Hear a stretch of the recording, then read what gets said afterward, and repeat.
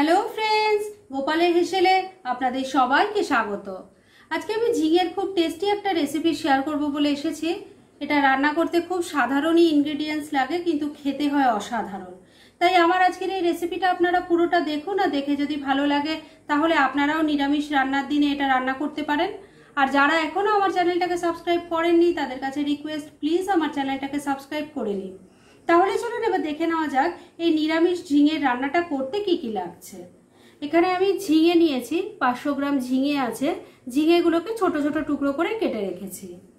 আর মুগ ডাল, এক কাপ মুগ ডালকে আমি ভিজিয়ে রেখে বেটে নিয়েছি, আর এর সঙ্গে দুটো কাঁচা লঙ্কা একসাথে বাটা আছে। পোস্ত আছে এখানে ফোর টেবিল স্পুন এর সাথেও আমি দুটো কাঁচা লঙ্কা বেটে রেখেছি।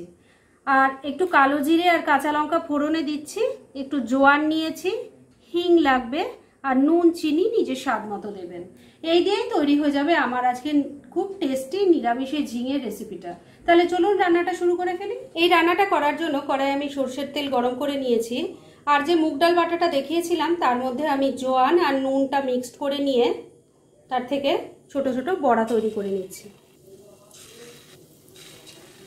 এই রান্নাটা অনেক পুরনো দিনের একটা হারিয়ে যাওয়া রান্না।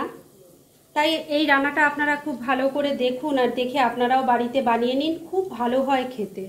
আর এইরকম অনেক পুরনো দিনের হারিয়ে যাওয়া রান্না আমার চ্যানেলে দেওয়া আছে, সেগুলোও চাইলে আপনারা দেখে নিতে পারেন। সব বড়াগুলো ভাজার জন্য দিয়ে দিয়েছি, এবার এগুলোকে উল্টে পাল্টে লাল করে ভেজে নিয়ে তুলে নেব। তাহলে এগুলো ভেজে নিচ্ছি, তারপরে ফিরে আসছি। ডালের বড়াগুলো সব ভাজা হয়ে গেছে, এবার এগুলো তুলে নিচ্ছি আর নেক্সট স্টেপ দেখাচ্ছি। বড়াগুলো ভেজে তুলে নেওয়ার পর যে তেলটা আছে, তার মধ্যে আমি ফোড়নটা দিয়ে দিলাম। এর মধ্যেই সামান্য একটু হিং দিয়ে দিলাম। একটু নাড়াচাড়া করে নিচ্ছি। এবার ঝিঙের টুকরোগুলো দিয়ে দিচ্ছি। সামান্য একটু হলুদের গুঁড়ো দিয়েছি, এটা একদমই অপশনাল আপনারা না চাইলে নাও দিতে পারেন। স্বাদ মতো নুনটা দিয়ে দিলাম। সামান্য একটু চিনি দিয়ে দিচ্ছি। এবার সব কিছু মিশিয়ে আর ঝিঙেটাকে একটু ফ্রাই করে নেব। ঝিঙেটা হালকা করে ফ্রাই করে নিয়েছি। এবার পোস্ত বাটাটা দিয়ে দিলাম। পোস্তটা মিশিয়ে নিচ্ছি। এবার জল দিয়ে দিচ্ছি। এই রান্নাটা একটু গ্রেভি টাইপ হয়, তাই সেই বুঝে জলটা দেবেন। ঝোলের সাথে মিশিয়ে নিচ্ছি। এবার ফ্লেমটাকে লো আর মিডিয়ামের মাঝামাঝি রেখে আমি তিন চার মিনিটের জন্য রান্নাটা করে নিচ্ছি। মিনিট চারেক রান্নাটা করে নিয়েছি। এবার ঢাকা তুলে নিচ্ছি। একটু নাড়িয়ে দিচ্ছি। এবার ডালের বড়াগুলো দিয়ে দিলাম। ঝোলের সাথে মিশিয়ে নিচ্ছি। ভালো করে ঝোলের সাথে মেশানো হয়ে গেছে। এবার ফ্লেমটাকে মিডিয়ামে রেখে আমি আবারও মিনিট দুয়েকের জন্য রান্নাটা করে নিচ্ছি। মিনিট তিনেক রান্নাটা করে নিয়েছি ঢাকা তুলে নিচ্ছি, একটু নাড়িয়ে দিচ্ছি।